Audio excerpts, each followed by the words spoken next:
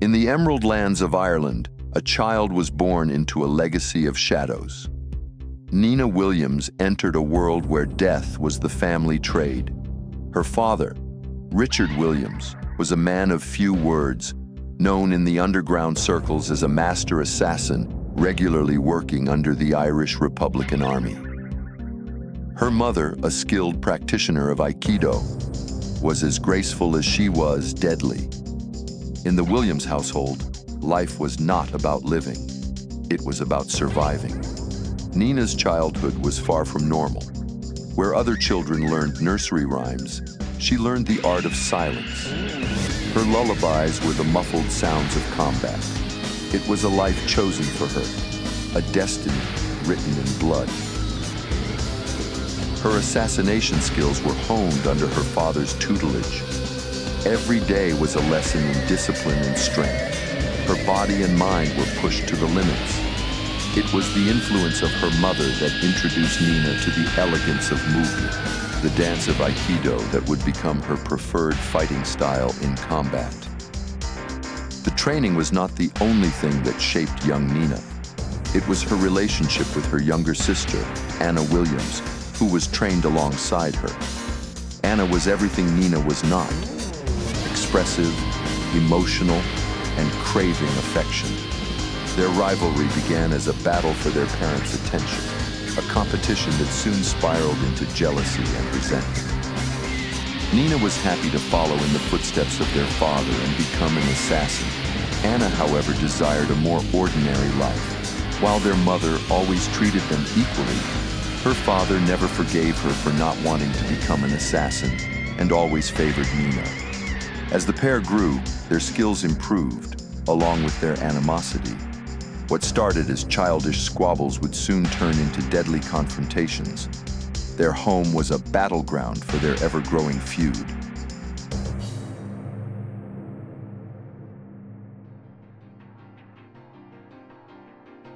As young women, the outside world served as their period of rest, a place where they could be something other than assassins in training. It was here where they would show the faint but brief signs of sisterhood without the presence of their father's constant tutelage. They would look out for each other. The shadow of their heritage loomed large. They walked the cobbled streets as young warriors, their eyes always alert, their senses always sharp. One day, an altercation occurred where Nina and Anna easily dispatched a group of drunks for persisting with unwanted advances. Her swift reaction time and killer instinct caused Nina to further realize her destiny. She was born to be an assassin, and nothing could change that path. You're lucky I was here, Anna. You'd have been overwhelmed. I was handling it just fine until you barged in. Whatever. I'm going home. Nina, slow down. Just wait for me. Nina's reputation began to precede her. Tales of her contracts reached the ears of those in the darker corners of the world. Now possessing a lethal edge, she was an asset, a weapon to be hired, and a tool for the ambitions of others. Nina's cold, indifferent persona began to solidify. She learned to mask her emotions, to bury any semblance of vulnerability under a veneer of ice. Her interactions were transactional, her relationships superficial. The only constant in her life was her rivalry with Anna, a flame that refused to be extinguished. Nina's first major contract came as no surprise. It was a validation of her skills. The target was none other than Heihachi Mishima, a name that reverberated in the underworld. He was the owner of the Mishima Zaibatsu, an enormous business conglomerate with interests in many areas, the same group that sponsored and hosted the King of Iron Fist tournament. She surmised her hiring was likely a typical power struggle between corporations, something she had seen many times before. She chose to never get involved personally in her contracts. Her only focus was the mission and the lucrative financial reward that tied it all together. Welcome to the King of Iron Fist tournament. As the King of Iron Fist tournament commenced, Nina entered the fray. Her objective was clear, Assassinate Heihachi Mishima. The tournament was a convergence of the world's greatest fighters, the perfect cover for her assignment. She deduced that the only way to gain access to the highly guarded Heihachi would be to advance to the finals where he would be her opponent, the perfect moment to strike. Beyond the contract, unbeknownst to her, the tournament was set to be the stage for personal vendettas and unresolved conflicts. Nina's first significant battle was more than a simple contest. It was a continuation of a lifelong feud. Her opponent was none other than her sister, Anna Williams. Their fight would become a spectacle of years of bitterness and rivalry. What are you doing here, Anna? Getting in my way. I'm here to show you who really belongs in the spotlight, Nina. You never could accept that I was better. Better at following orders, maybe, you lapdog. I chose my path. A path in my shadow, as always. You never understood the gravity of our legacy, Anna. I understand just fine. I'm more than just a killer, unlike you. And yet here we are. You're no different. Nina Williams versus Anna Williams. Final round. Fight. Ah!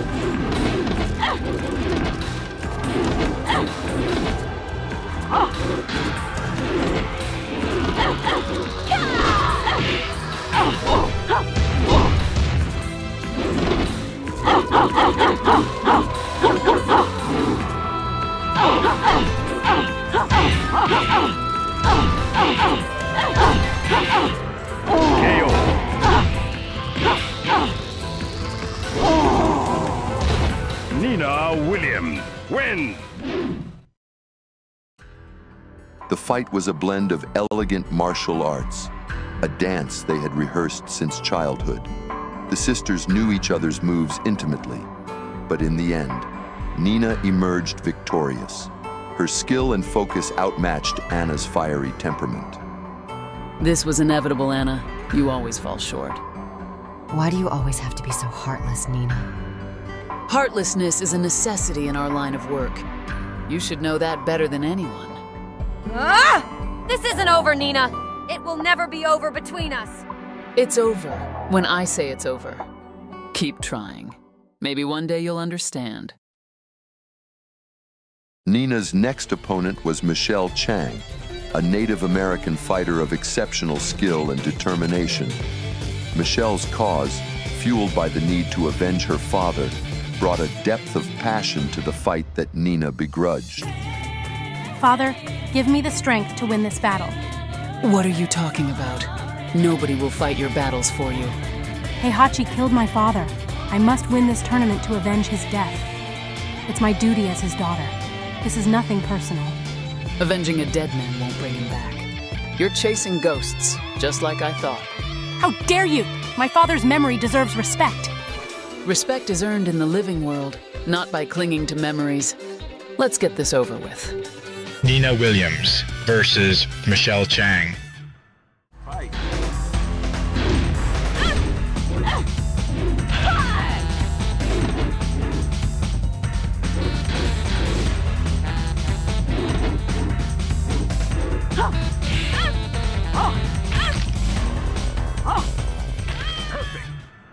Battle took a surprising turn. Michelle's reaction to Nina's cold disregard for her plight caused her to lose focus. Intentional or not, Nina capitalized, her icy demeanor and lethal precision ensuring her victory. Advancing to the quarterfinals, Nina was one step closer to her goal. However, the tournament brought her face to face with fellow quarterfinalist Martial Law, the fighter now known for his fluid fighting style and charismatic presence. You seem like you're not here to play around. Ready for a real challenge? I didn't come here for games. I'm here for victory. That's the spirit. Let's see what you got. Nina Williams versus Martial Law.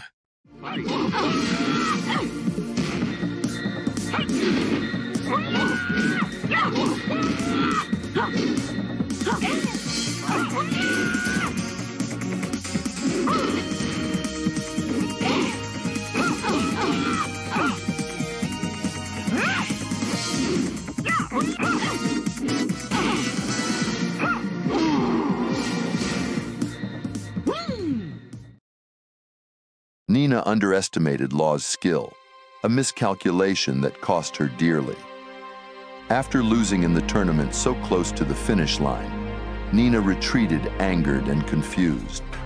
Her failure to eliminate Heihachi Mishima was a crack in her otherwise unblemished facade.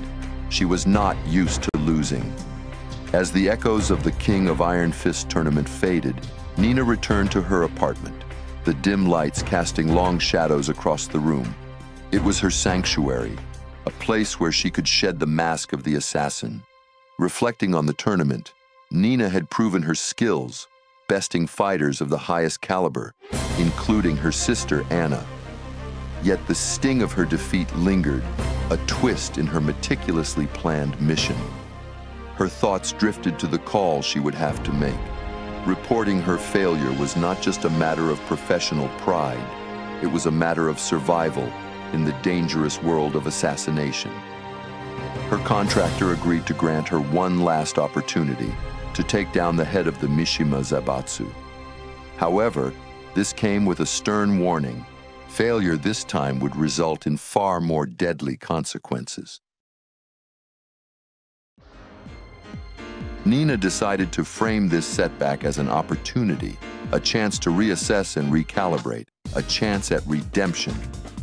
Seeking a temporary escape from life's demands, Nina decided to visit the family home, hoping to gain insights from her father's advice that could enhance her skills.